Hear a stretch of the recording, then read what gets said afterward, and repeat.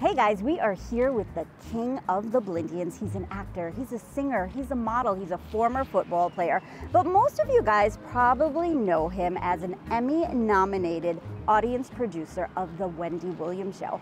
Also, he's a former master of ceremonies for the Brooklyn Nets. Well, guys, I have Marco Glorious. Marco. So, Marco, king of the Blindians. I mean, how does one get the term the king? You know what? When I started to like describe myself to my friends and say what it what it was that I am, uh, the term Blindian was what it was, and a lot of my friends had no idea what a Blindian was. But I used to rep so hard for the Blindians that my friends started calling me, "This guy's got to be the king. He's he's the king of the Blindians," and it kind of just stuck, you know. So, king of the Blindians is what is what stuck, and I've been using that, you know, ever since. So the term Blindian is half black, half Indian. Yes. In Guyana, we call it Dogla. Dogla, yes, I've heard, yeah. So now I read your mom is Afro-Caribbean from St. Kitts and Nevis, and your dad is Indo-Asian from South India, Yeah, from Bombay. from Bombay. So Blindian, Yes. or what Abidis is called Dogla. I gotta ask you, I mean, growing up, you're born in America, right? Yeah, born in New York. hmm Do you identify more as an Indian or more as a black American? what would you say? Well, you know what? I think you identify with what, well, I identify with what I look like for the most part. So most people don't know that I'm an Indian man. Like I come across as, as a black man. So I, I do identify with being a black man, but I never disregard my roots. You know, when people ask me, you know, are you, you know, mixed with anything? I, I I'm very eager and happy to say what my other half is because I'm I'm split down the middle. Mm-hmm. I'm a, In the middle. well, yeah, my, I'm gonna say my upper half is more Indian than my lower. oh, really? Okay. So you know what? I'm gonna leave that one no, it's alone. okay, You know, the it. top being Indian, the bottom being black. I'm gonna leave that alone. But All right. you know, let's talk a little bit about Marco Glorious, the audience producer, because Mm. Yeah. I went to the Wendy Williams show a couple of weeks ago. You. I was blown away by your energy. I mean, I just sat there and I was just like studying you.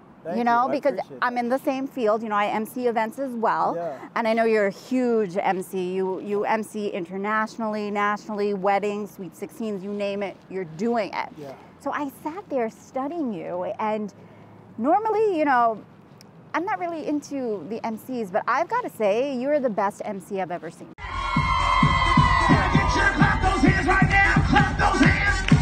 Clap those hands. Clap those hands. Just clap those hands. Now, studio audience, I want you to point to the person that you came to the show with today. Yes, yes. Can you point them out there? Point them out. Point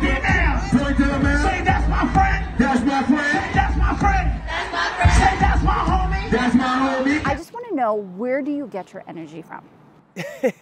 you know what? I'd say a lot of it is a mindset. It's my mind that I just literally I, I approach things, I approach the way that I live almost very systematically like I'm a machine. And I fuel myself. I, I try to eat well. I don't eat as well as I should, but I'm very uh, I'm into the holistic way of life. A lot of herbs, olive leaf, oregano oil. I take a lot of vitamins daily. Um, but my mindset is really what keeps me going. I'm like, I'm not I'm not where I want to be yet. So I'm still on my path. I'm still on my grind. So there's no excuses, Marco. You gotta just ain't nothing to it but to do it. That's how I approach my life and everything that I do. What would you say, Marco, makes a great MC? I mean, is it is it you? Is it your audience? Are you feeding off of people? What's the secret? So yeah, it's the transference of energy. Like I am very big on energy and I, I'm putting my energy out there and energy never it never dies. So you throw out energy with the hopes of receiving it back and just bouncing it off of like your audience. So yeah, I think energy is very important and for me, it's been my musicality. Um, at the at the Wendy show, we have our DJ, our DJ. Shout out to DJ Boof, uh, but also my DJs that I work with on a regular basis. They know that when I'm on an event, I'm very big on music.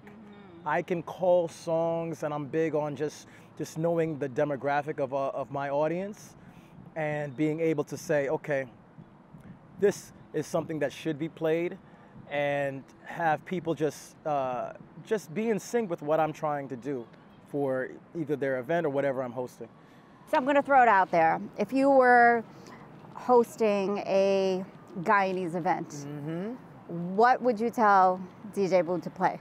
Listen, so we're gonna do, we gotta get into the chutney vibe. You know what I mean? I gotta start thinking about some roti, you know, like the foods, and then my mindset. Um, I'll probably play like like you know a little motor, motor, motor. Yeah. Motor, motor, motor, motor, motor, motor, lawang nilay sa kilawang nilay sa kilawang nilay. Or I want some rum in the morning. You could bring it in a bottle, you could bring it in a flask, you could bring it in a cup, you could send it in a glass. I want me rum in the morning, I want me rum in the evening. Uh, is that is that? Hunter. But that is that Guyanese? Uh, it's Trinidad. Both of those were actually Trinidad. Oh damn! Pa- my apologies. It'll work. It works. It'll work. But you Give know what the- you got to do? You got to, you know, find some Guyanese chutney. Uh huh. You ever heard of Terry G?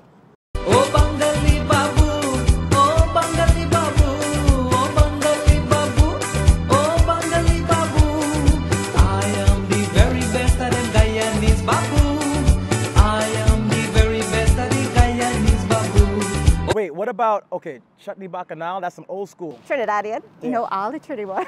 She. you know what that means? You, you got to come to Guyana. You gotta invite me. Yeah, we got to invite you down to Guyana. Okay. So, if you were um, emceeing for a reggae event, a Jamaican event, what would you play? Ah, it depends. Like, so it's like commercial reggae. I mean, like uh, anything from like Wayne Wonder, you know what I mean, to um, Let, let's go back a little old school. What, what would you play for like a older crowd? old school, like reggae. I mean, you can't go wrong with like with with, with Bob. Of course. Um, who else? Uh, Who's your favorite modern day? you know who I love? I love Damian Marley. Damian Marley is my guy um, for reggae music. I'm a big soca fan. Um, What's your favorite soca song? Oh, favorite soca song of all time? Of all time? Uh, I mean, it might have to be Rupee Jump. I don't know. That's like a classic. One thing that I did know about you, and I think everybody knows about you, is your dancing and you picking people out of the audience to dance with at the Wendy Williams show. Yeah. But Mark, I gotta ask you, tell me the funniest thing that ever happened to you as an MC.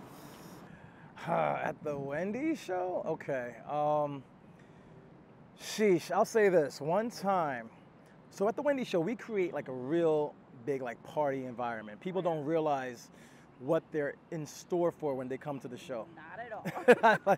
so it's like I'm I'm like the liquid libation or the human libation. You know what I mean? I'm I'm the human liquor, and literally it's it's a rocking party from beginning to end. And one day we had uh, there was this lady, this girl who just took it upon her. She was feeling good, and as I said, it's a big party. It's a party vibe. I was on the one end of the audience, and I'm doing my thing, just just talking to people, just interacting with the audience. And from my peripheral, I caught somebody running towards me full speed, right? And I'm like, okay. And I turn, and literally when I turn, I see this full-grown lady, this girl, airborne in the air, and and I see this woman like being hurled towards me, or just hurled herself towards me, and I wasn't ready, but I stay ready. You know what I mean? Uh. So she literally she jumped on me, and I caught her real quick, like with one one hand, and then this chick proceeded to like ride me, like cowboy me. And she like, I had the microphone in my pocket. She actually broke the microphone because she she literally ran and jumped on me, and I caught her. And then she like cowboyed me, uh, but I, you know, and she wasn't a small girl, like, but I'm sturdy. You know what I mean? so, yeah, and, and it was so shocking. It happened so fast that you know, and like I put her down. The audience was like hysterical, laughing, and I was like, yo, like, I said, yo, yo, who did who did you come here with? Uh-huh. She came, she came to the show with her mother and her father. Oh my God. And I was shocked that she would even do this in front of her parents. And like, I told her parents like, listen, you know, I'm sure you guys are nice, great people, but you should have beat her a little bit more when she was a kid or something like that. But I remember something like that. That happened. Um, it gets crazy. At like, it gets. She must have read that you were a former football player. Maybe. I mean, as I say, I stay ready, but I was shocked. I was shocked. Stuff like that happens all the time at the Wendy Show. People. Mm it's a you when you come to the Wendy studio, you forget all your inhibitions. You know, like that's my goal. Whenever I'm hosting an event, I want you to forget all your inhibitions. Whether it's at the Wendy show, whether it's a corporate event, wedding, whatever country I'm in. I, I want people to celebrate life. That's my goal with anything that I'm ever doing. It's just people I love, I enjoy making people feel good. At Better Vision Optical, we know you love what you see. Come in and look for that perfect fit for your fashion style and budget. We have new frames at affordable prices to have you looking your best. Shop designer name brands like Burberry, Coach, and Gucci. We also have a wide variety of sunglasses like Versace and Ray-Ban. Visit our store at 11117 Lefferts Boulevard, Queens, New York for friendly, personal service or shop online at buyeyeglass.com. Better Vision Optical, we make you see the difference. When looking at places that cares for the elderly, My Indian Nursing Home is that perfect place. We provide a clean and safe family environment with culturally experienced and qualified medical staff on site, such as doctors, nurses, physical therapists, and cooks. All of our residents can celebrate cultural festivities and have access to recreational programs with Indian TV, music, live shows, entertainment, and so much more. For the perfect place for comfort, culture, and care, bring your parents to My Indian Nursing Home, a home away from home.